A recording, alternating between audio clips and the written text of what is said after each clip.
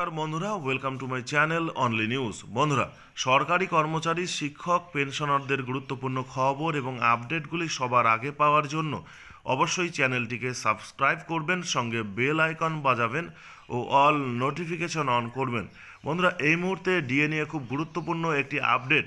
আপনারা অবশ্যই সমস্ত ডিএ প্রাপক কর্মীরা ভিডিওটি দেখুন। ভিডিওটি সমস্ত সাধারণ মানুষের জন্য শেয়ার করুন। কারণ অনেক সাধারণ মানুষকে ইতিমধ্যেই ভুল বোঝানো হয়েছে বা অনেক সাধারণ মানুষ ইতিমধ্যেই ভুল বুঝে নিয়েছে যে সরকারি কর্মচারীরা অনেক টাকা বেতন পান। তারপরেও আরও বেতন বৃদ্ধির জন্য তারা আন্দোলন করছে।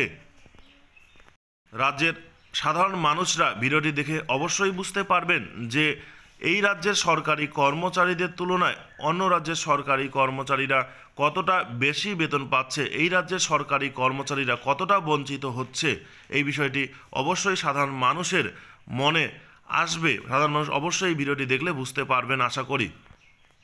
এখানে দেখুন, ভারতের বিভিন্ন রাজ্যে সরকারি কর্মচারীদের বর্তমান মহার্ঘ ভাতার পরিমাণ দেওয়া রয়েছে। অন্ধ্রপ্রদেশ বর্তমানে আটত্রিশ দশমিক সাত সাত ছয় শতাংশ ডিএ পাচ্ছে জুলাই দু হাজার উনিশ থেকে। আসাম আটত্রিশ শতাংশ ডিএ পাচ্ছে দু থেকে। অরুণাচল প্রদেশ আটত্রিশ শতাংশ ডিএ পাচ্ছে। বিহার আটত্রিশ শতাংশ ডিএ পাচ্ছে। ছত্তিশগড় তেত্রিশ শতাংশ। গুজরাট একত্রিশ শতাংশ। গোয়া আটত্রিশ শতাংশ। হিমাচল প্রদেশ একত্রিশ শতাংশ। হরিয়ানা আটত্রিশ শতাংশ। ঝাড়খণ্ড আটত্রিশ শতাংশ। কর্ণাটক আটত্রিশ একত্রিশ শতাংশ।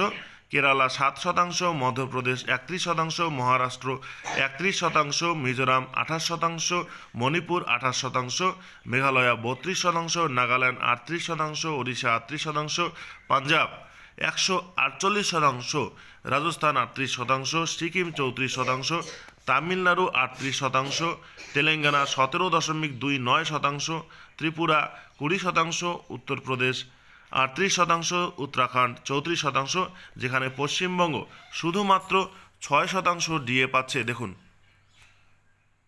পশ্চিমবঙ্গ শুধুমাত্র ছয় শতাংশ ডিএ পাচ্ছে, কেরালা সাত শতাংশ এবং পশ্চিমবঙ্গ ছয় শতাংশ ডিএ পাচ্ছে।